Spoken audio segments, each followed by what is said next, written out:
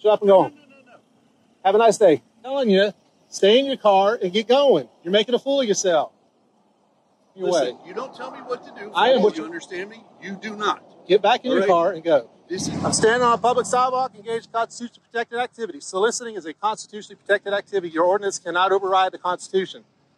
I'm dropping the attitude. and Listen to what I'm telling I you before no before told you me get to yourself- here. before you get yourself in Did trouble You not tell me that. because you were spouting some dumb dumb Did stuff. You not tell me to Get your boy and get him out of here, please, Hey. before he makes a mistake and gets himself in trouble. hey, did you not tell me to shut up and get out of here? Shut up and get out of here. I just did it That's what you again. Shut your mouth. Get out. Shut up.